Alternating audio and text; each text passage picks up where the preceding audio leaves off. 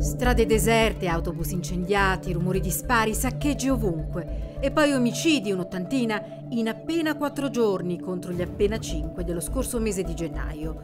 Lo Stato brasiliano di Espirito Santo si prepara al carnevale peggiore della sua storia e l'allerta è così drammatica che da Brasilia si è deciso di far intervenire l'esercito.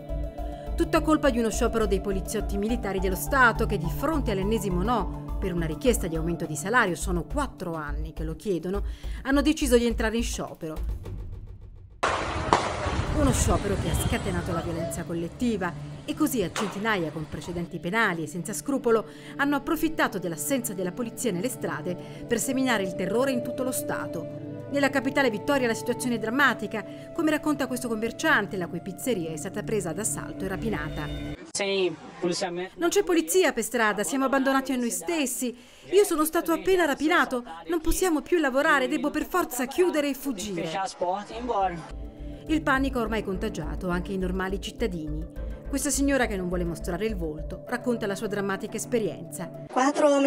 Sono arrivati quattro uomini e ci hanno puntato la pistola alla tempia mentre eravamo in auto e ci hanno intimato di uscire dall'auto.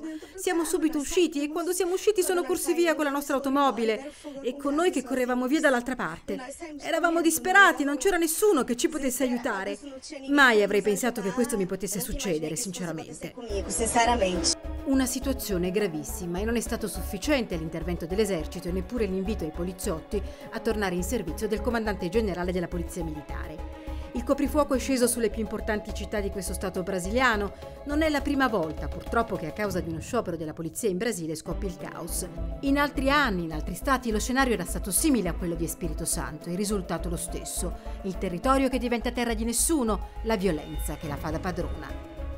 Il tutto mentre il paese vive un momento politico delicatissimo, con il ministro della giustizia Alexandre de Moraes, accusato in passato di aver difeso alcune cooperative di autobus legate alla fazione criminale del PSS, il primero comando da Capital, candidato adesso a nuovo ministro del Supremo Tribunale Federale, al posto di quel Teo Rizavaschi morto settimane fa in un misterioso incidente aereo.